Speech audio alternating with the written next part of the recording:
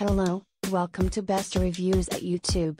This item has a rating of 5.0 out of 5 stars. A customer wrote, I have very sensitive skin that becomes dry very easily, especially in cold weather. I have struggled to find products that work well for my skin type, without irritation and I honestly tend to go for offers. I bought this because a friend recommended it and I already love how it feels. It does calm and moisturize my skin. I love how hydrating this product is.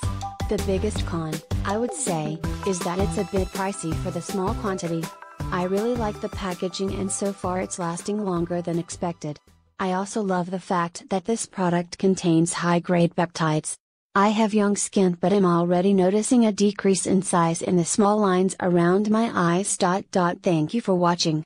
Please give the thumbs up.